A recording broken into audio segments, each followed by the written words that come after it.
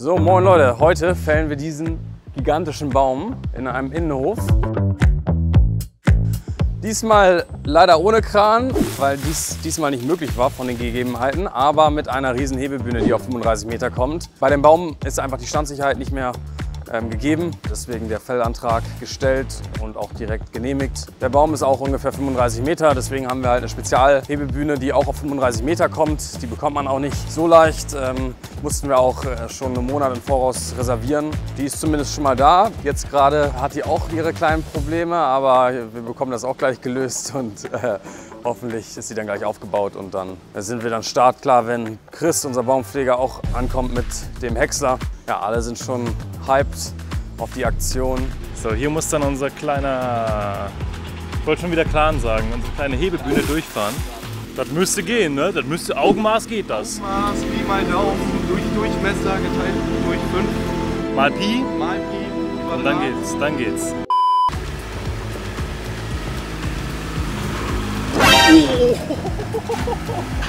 Jesus Christ! That was a close call. Ja, wir bauen jetzt die Hebebühne auf, sperren hier alles ab. Wir bauen jetzt die Hebebühne auf, sperren derweil schon mal ab, damit hier nicht irgendwelche unerwünschten Besucher uns in die Quere kommen. Marv macht schon Macht schon richtig Action. Die Spinne. Die vierbeinige Spinne. Da haben wir die, der Terrorbiber.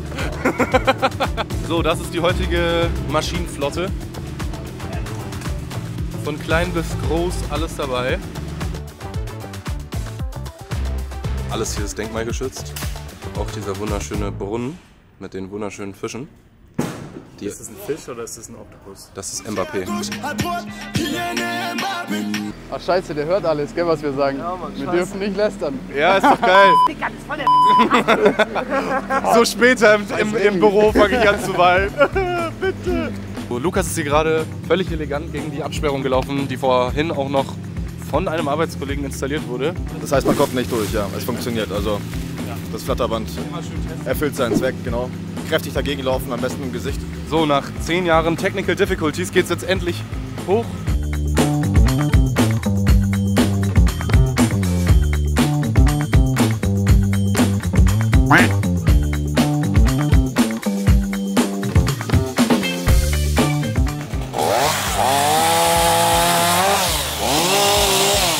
Digga, der Stamm ist so fett.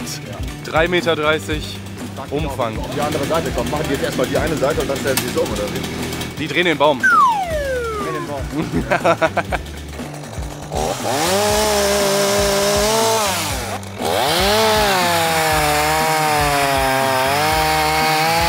Wofür ist dieses blaue Ding am Baum da?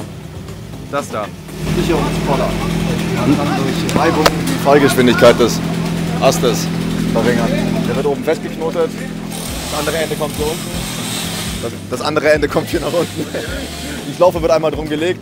Ich stelle mich in einige Entfernung und lasse das Ding dann langsam runter. Der vor allem der Aste kann ja auch senkrecht fallen und dann zur Seite kippen und eine Scheibe einschlagen. Das wollen wir ja alles nicht. Was geht? Der hier. Was soll ich sagen? Ich weiß nicht, was machst du hier? Was machst du hier mit dem Radlader? Wir fahren jetzt mit dem Radlader sozusagen das ganze Zeug raus, was die zwei anderen runterschneiden. Okay. Also Genau. jetzt fangt ihr schon mal an damit. Ja genau, das Kleinzeug und dann das mal und dann wenn die Stämme kommen, das haben wir drauf länger. Geil. Genau. Helm, Lungenbrötchen. Ich bin immer richtig nah an deinem Gesicht. Jedes Mal. Ich bin so drinne, einfach locked in. so, während die Jungs ja oben auf dem Baum sind und hier schon mal die Vorarbeit leisten, bringen die anderen das Astgut schon mal weg. Und zwar zum Häcksler, damit wir schön effizient das alles wegfahren können. Später kommt dann auch noch ein Laster. Lukas trägt jetzt die größeren äh, Äste schon mal in die Schaufel vom Radlader, damit wir das dann auch alles gleichzeitig wegtransportieren können. Aber der ist echt um einiges größer als wir dachten. Ne, Wahnsinn. Er ist fucking fett. Machen wir nochmal alles fresh. Wir müssen die Hebebühne jetzt nochmal umstellen, weil wir nicht in den Außenastbereich kommen. Dann geht's weiter.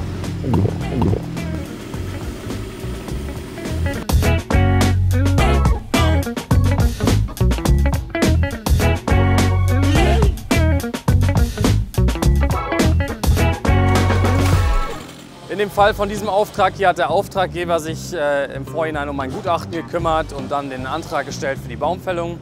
Hier haben wir den Fall, dass ähm, der Baum halt eine Stammfäule hat und deswegen die Standsicherheit nicht mehr langfristig garantiert werden kann und ja, einfach hier gewisse Sicherheitsrisiken sind. Auch bei euch im Privatgarten oder wo auch immer, auf welcher Anlage ein Baum steht, muss immer ähm, die Sicherheit gewährleistet werden. Wenn man halt sieht, optisch schon, dass es dem Baum nicht gut geht. Da sterben äh, Äste viele ab, ähm, es fallen morsche Äste runter, es äh, bilden sich irgendwelche komisch aussehenden Pilze. Holt auf jeden Fall einen Experten dazu, wie zum Beispiel äh, von uns ein Baumkontrolleur. Der kann euch schon mal beraten und auch helfen, den Baumfellantrag auszufüllen, den man dann an die untere Naturschutzbehörde hier in München äh, stellt oder äh, an die jeweilige Baumbehörde bei euch oder also Naturschutzbehörde, die zuständig ist. Es gibt auch Spezialunternehmen, die in eurem Baum dann Bohrungen machen können und mit bestimmten Messgeräten messen können, wie es dem Baum geht. Sowas können wir natürlich auch gerne für euch organisieren, ähm, wenn es dann wirklich nicht ganz klar ist, ob der Baum fällungswürdig ist oder nicht ähm, oder die Verkehrssicherheit nicht mehr gegeben ist. Falls so was bei euch gemacht werden muss, meldet euch gerne. So, viel Fortschritt. Was ist hier passiert? Alles ist weg. Guck mal, der Lukas. Guck mal hoch. Halbnackt. Ja, der Baum. so, jetzt sehen wir das ganze Ding mal in Action. Wir bremsen ab. So, ein bisschen Sicherheitsabstand hier. Genau, Sicherheit, schön. Eigentlich nur eine Wicklung, aber jetzt bin ich da noch einmal drum gegangen. Muss ich nicht ganz so viel ziehen. Jetzt Ah, gerade schon die. Handschuhe weggemögelt hier, weißt du? Und davor hast du nur einmal eine Runde gemacht und da war weniger Reibung und du bist hier weggezogen worden. Es war weniger Reibung, deswegen bin ich hinterher geflogen. Genau. Jetzt, mal, jetzt mal eine mehr. Jetzt schauen wir mal an, was die Jungs da treiben. Ich gehe mal hier ein bisschen weiter weg, ich komme gleich wieder. Die Krone wurde nämlich eben schon gekappt. Jetzt wird der Baum Stück für Stück von oben klein gesägt.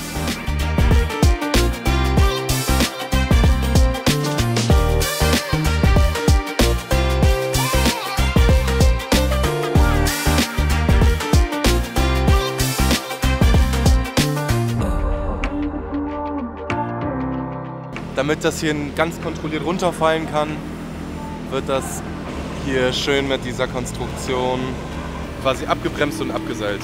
So, der Lukas zeigt es hier vorbildlich. Breitbeinig aufstellen, eine führende Hand. Lukas begibt sich in Position. Und er fällt. Und Lukas wird ihn nach vorne gießt. Junge, Junge. Alles gut. Touchdown. Zack, Touchdown. Ist ja wie am Hafen hier, ne, Lukas? Oh ja. Kennst du diese Videos von diesen Hafenleuten? ja. Ja. Da kommst du auch Eigentlich müsstest du das machen, ne? Ich? Ich bin kein Hamburger, Digga, ich bin Kölner. Naja, stimmt. Ich habe was mit Karneval am Hut. Dafür auch im Schluss. So, da kannst du uns vielleicht noch mal im Detail zeigen, wie du das hier bindest. Eine Schlaufe Schlaufe. rüber. Hinter dieses Fahrrad. Ja. So, das war's. Und wenn ich jetzt noch mehr Reibung erzeugen würd, wollen würde, würde ich jetzt hier einmal so rumgehen, Ja. wenn der Handschuh nicht dazwischen ist. Und dann ist das noch stabiler. Okay. Ja. Und das machst du abhängig vom Gewicht des Das mache Baumstamms? ich abhängig vom Gewicht des Baums. Okay, Genau. okay, okay, okay. So, die Astronauten sind down. Hell fucking yes, hell fucking yes. Da geht richtig was. Michael Jordan und Scottie Pippen des Gartenbaus. klasse. Ja? Die Stämme darfst du noch einen Ticken mehr durchlaufen lassen, ansonsten ist super. Also keinen ex expliziten Stop, dass du gegen einen Stamm kommst zum Beispiel. Ja, das habe ich äh, nach dem einen Mal nicht gemacht, wo es mich hinterhergezogen hat. Weil, weil ich nicht, wie Wenn es gesagt, dich so hinterherzieht, dann machst du eine Wicklung drum. Und dann kannst du das Seil ganz locker machen. Und wenn du merkst, es kommt zu schnell, dann ein bisschen bremsen. ja, bei dem ersten habe ich immer versucht, dann bin, dann bin ich immer hinterhergelaufen, damit ihr dann irgendwann so langsam. Ich hatte Handschuhe an. Die haben sich verbrannt. Kiefer, wo ich mir die ganzen Finger verbrannt habe. Finger, die ganze Hand von dir. Ja, der hier trägt hier alles Stück für Stück raus. Jeden einzelnen Ast. Problem? Eingeklemmt. Eingeklemmt.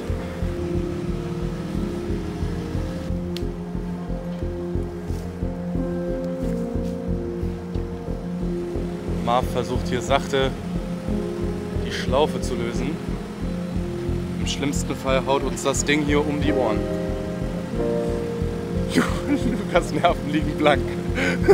Deine Nerven liegen blank, sage ich. Ein bisschen, ja. Kann einer auf das Holz schauen, okay? Du kannst kurz die Kamera rausmachen, bitte. Ja.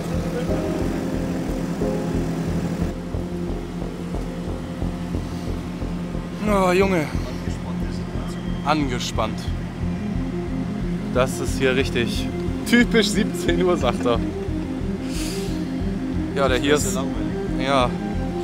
Sonst wäre es zu einfach. Der LKW ist auch schon da. Wartet auf das Holz.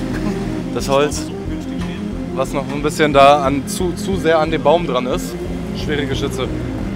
Werden jetzt ausgefahren.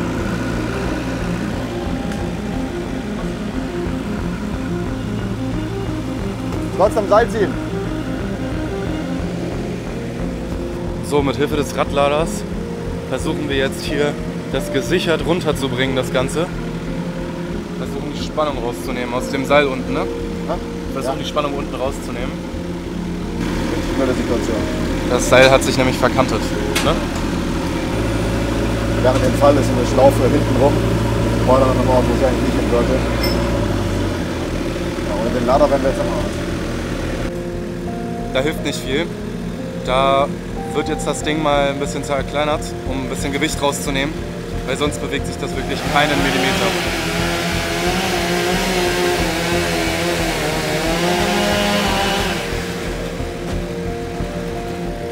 So, und jetzt hoffen wir, dass es hier mal vorangeht, dass das funktioniert. Und jetzt geht's los. Und langsam.